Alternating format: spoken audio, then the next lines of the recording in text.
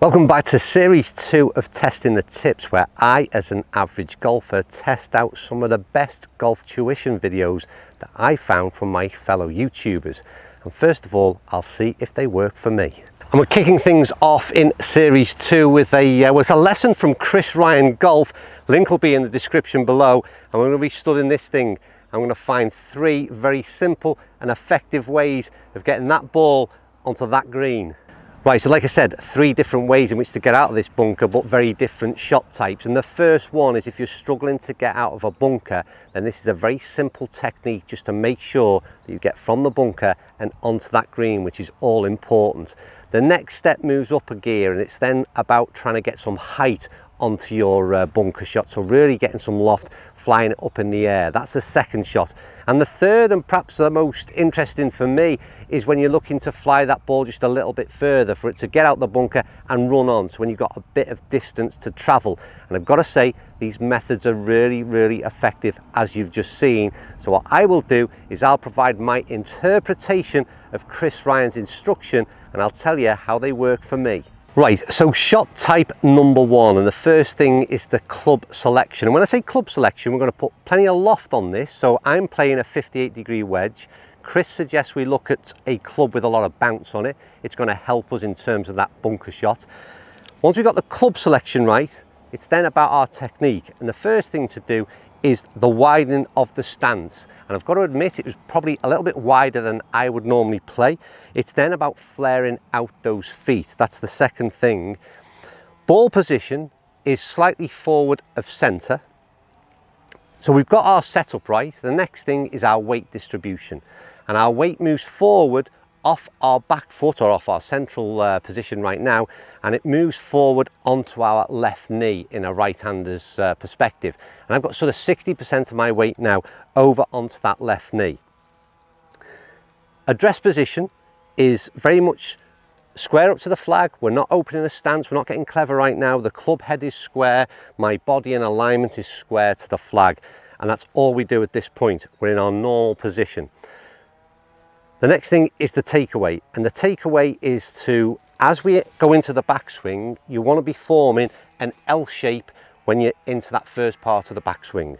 So into that L shape, but then it's that downswing and what we're looking to do from there that impacts on how this ball gets out.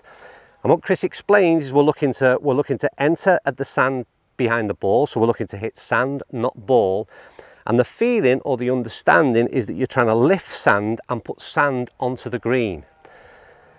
So we're not doing anything special right now. We're not going to, uh, the important thing is again, do not decelerate. You're in your position, you've got your weight slightly forward, you've got the L shape, and then it's into that ball with a normal swing and feel like we're going to put some sand onto the green.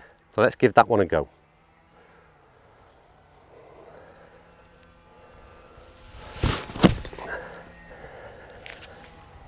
Well, to be fair to Chris, it doesn't get much better than that, Chris. That's an absolutely perfect start. And as you can see, the ball flight was quite good. We're going to look at the second phase of this about getting the ball high, but I've got to say that also popped the ball up quite high and I would take that any day of the week. But the important thing is, is we've got to get, like I said, if you're in that position right now where you're struggling to get out of the bunker, that's the first thing, because what you don't want to do is take two or three swipes in here before you get on the green. Get it out the bunker, onto the short stuff, and at least we've got that putter in hand. Right, that's step, or technique rather, number one. Let's step it up to the next level.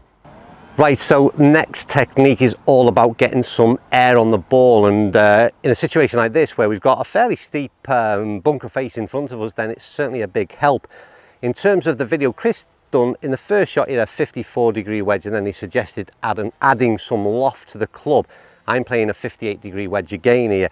Now First of all, with that club face, he's suggesting open it a little, but stay very much square at address, which is interesting. Stance again, slightly wider stance than we've just done on the first technique. Feet flared out, weight positioning is the same with sort of 60% onto that left-hand side.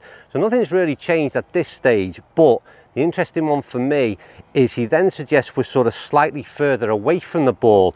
And what that's then going to allow us to do is we're going to drop the handle lower. So we're going to require a bit of knee flex. We're going to be lower uh, in our positioning and then we're going to drop our hands down to a much lower position than normal. And again, Chris's uh, explanation of that, it allows us to get a lot more sort of rounded in our sort of in our swing and our rotation and it certainly makes sense. Keeps loft on the ball as well uh, on the club rather which again very much makes sense in his explanation. So the next thing we're looking to do and where the key differences from sort of what we tried in the first phase to this the takeaway is the same. So we've got our L shaped but then when we come to the ball when it's coming towards impact, first of all, the butt of the club is going to drive down towards the, uh, towards the ball, but then through impact, you're going to have the bottom hand, you're um, releasing under the, under the ball and passing your hands very quickly. So the hands almost stop in this position and the club head then quickly follows through at some speed. And the idea of that is we'll maintain that sort of loft on the ball, on the club head rather, and generate that speed, which is then going to pop that ball up in the air in theory. I think I've covered every element of his instruction. Like I said, this is my interpretation and the best thing to do is follow the link below and look at Chris's uh, explanation, which will be far greater than mine. But anyway, we're going to give that theory a test. So I'm in position, Club face slightly open, I'm going to lower the hands and my body down in a much different position than I'd normally play this from. It's into that L shape and that important thing is to release that uh, trail hand and feel as though it's really surpassing the, um, the, the club, the butt of the club rather. Right, let's give it a go.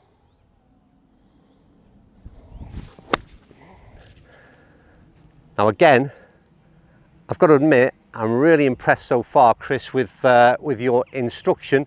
And I'm pleased with my execution, to be honest with you, because yet again, that's a really good shot and did exactly what we had hoped it would do and that your instruction led to. So it's a real different feeling. I must admit, I had a few practice goes at this one. It's a technique that was different uh, for me personally, but certainly that feeling of the club head passing the hands and the butt of the club through that impact position is, is, is alien to me, but it certainly did what you suggested and that's pop that ball up in the air, right? That's two techniques down. The third and final one is a real interesting one that is very much uh, of interest to me on a personal level. Right, third and final technique, and the first thing we need is a change of club because what we're looking to do here is we're looking to get the ball out and we're looking for it to release. We're looking for it to travel a greater distance. So when we play the lofted club, the idea is the lofted club is very much going to come up, come down and pretty much stop. For this kind of shot, we want to get it out onto the green and for it to release and run out. So change of club, first of all. Chris went to a 9-9, I'm going to a pitching wedge. Basically, we're taking loft off, then what he suggests is that we open the club face up just a tad and then we're going to grip down on the club as well. So that's the first thing in terms of relation to grip and uh, the club face. We then adopt that same wide stance, which has been pretty much prevalent throughout, but we're very much square to target on this one. Again, it's nothing to do with um, uh, uh, uh opening the stance or anything like that.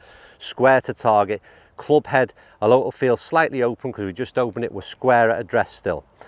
The next key difference with this one is about the way in which, um, well, it's about the follow through, it's about the impact position, I suppose.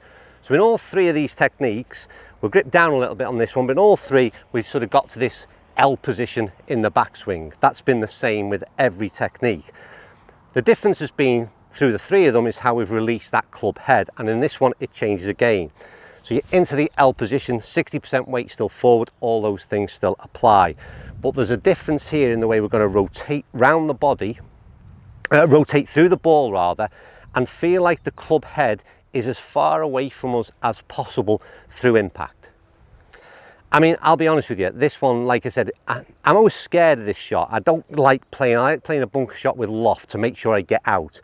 So when I'm faced with this kind of shot, it does worry me because I know in theory I should be playing the likes of a pitching wedge, um, but it always worries me. But anyway, that's it. I mean, technique done. Like I said, into that L shape. And when we swing through the club head this time, we're going to feel like it's as far away from us as possible.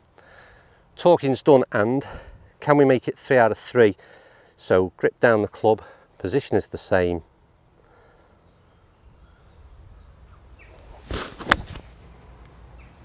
That's again, absolutely, it's Well, it's carried again pin high, and uh, it was really interesting. The, the, the, interesting bit for me was not only did it sort of travel, we faced quite a, a, steep lip there as well. So even with the pitching wedge in hand, when I'm assuming that we're going to sort of we've lost loft, so therefore we're going to uh, not get that height, it still managed to do that if we're taking sand before ball. I've got two ball behind me waiting for me to get out of the bunker, so we'll do an evaluation somewhere else, I think.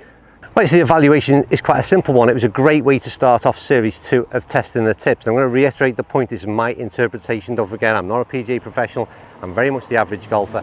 But the idea is that I tried these tips very much like you would do and try and decipher which are the good and which are the bad. And in this case, I thought Chris Ryan's videos explanations were really, really good, probably better than mine. So like I said, go and see his original video. There are no uh, magic potions in terms of helping you get out of bunker play ultimately it's about practice. But you need to understand the technique first and foremost of how to get it out. So uh, at least you've then got something to practice with. So whichever one of those that you uh, like the look of or think might help your game then get in a bunker and get practicing. And hopefully you haven't got a two ball chasing you up and cleaning off out the way. Give me your feedback and comments down below. Uh, one last thing, if you've not watched series one, then uh, again, we'll put some kind of link on the screen right now for you and go and check out some of them. As ever, thanks for watching and I'll see you all soon.